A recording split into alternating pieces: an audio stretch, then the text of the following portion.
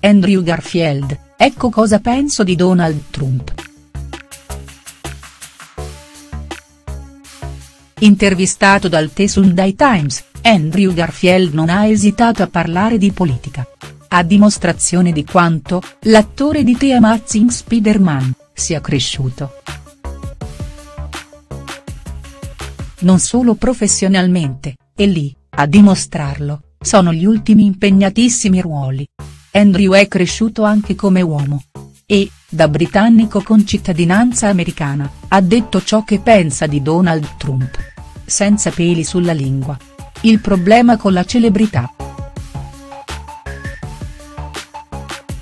C'è questa strana abitudine di mettere le celebrità sul piedistallo, e lo so per certo perché alcune persone quando le incontro mi dicono sei un dio, e io mi sento completamente a disagio, ha dichiarato Andrew Garfield nel corso dell'intervista. Lui, così riservato, con una vita privata che è protetta da un altissimo muro di privacy. Ma, ai microfoni del The Sunday Times, Andrew si è lasciato andare. Guardate chi c'è alla Casa Bianca.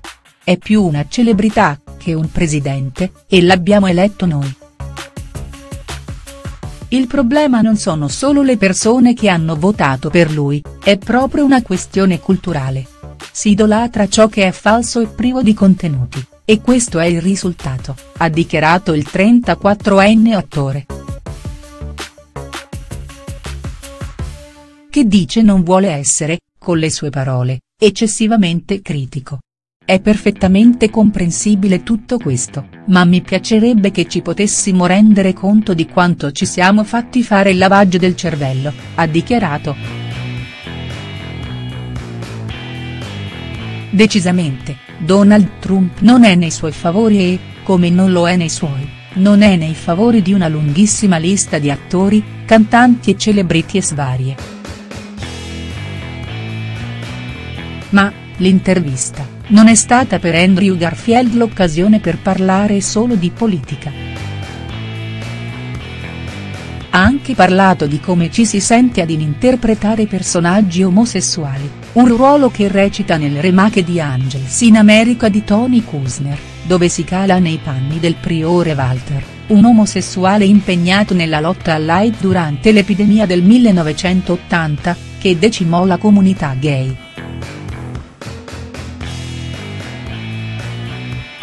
Tony Kusner ha scritto questo testo, e mi ha offerto la parte.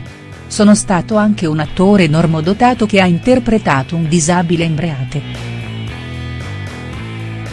Mi piacerebbe confrontarmi con chi trova sconveniente che io abbia recitato in questo due ruoli. Vorrei sedermi con loro in una stanza, e parlare della rappresentazione della disabilità e della comunità LGBTQ nell'arte, ha dichiarato. Andrew e il giardino.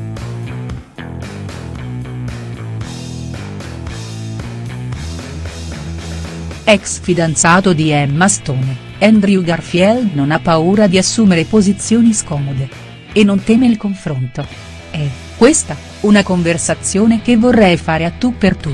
Non vorrei fosse una cosa pubblica, non sarebbe costruttivo. Quindi, entriamo in una stanza e parliamone. Lo dico per davvero, ha detto nel corso dell'intervista. Anche se alla comunità LGBTQ non è andata giù la frase da lui pronunciata qualche tempo fa sono un omosessuale, ma senza l'atto fisico, anche se poi per sua ammissione tale frase sarebbe stata estrapolata dal contesto e quindi fraintesa. Per quanto ne so, non sono gay. Magari un giorno scoprirò di esserlo, e sono sicuro che sarà meraviglioso e che esplorerò anche quell'area del giardino. Ma, per il momento, sono concentrato sull'altra zona, che è meravigliosa allo stesso modo, aveva dichiarato nel corso di una chiacchierata al National Theatre. Interrogato ora su cosa intendesse, ha spiegato, voglio entrare appieno nella battaglia di una comunità che non dovrebbe essere costretta a combattere per affermare la sua identità. La sessualità non è una scelta, voglio aiutare la gente a capire che ognuno è nato come è nato.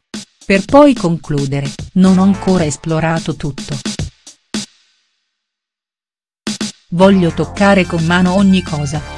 È questo, il senso di ciò che ho detto. Se mi dovesse succedere, sarei felice di esplorarlo tutto, quel giardino.